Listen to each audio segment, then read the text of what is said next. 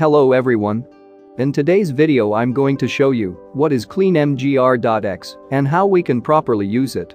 Microsoft's CleanMGR.exe is an automated tool for disk cleanup in Windows designed to liberate space on your hard drive. Its primary objective is to scan and evaluate your hard drive for unnecessary files, eliminating them without manual intervention. So without time wasting let's jump into the video. Method first. How can I use cleanmgr.exe properly? Hold Windows plus R keys together, type the command, and tap OK. And see the disk cleanup window pops up. Now you can tick the box of your choice you want to clean and click OK.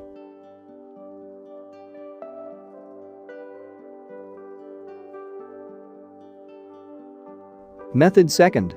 On your home screen type in CMD in the search bar and select Run as administrator. Once the UAC pops up, click Yes. Copy and paste this command and click OK. All commands is in the description.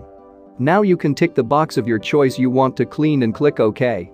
And that's for this video. If you found this video useful, don't forget to like and subscribe our channel. See you in the next video.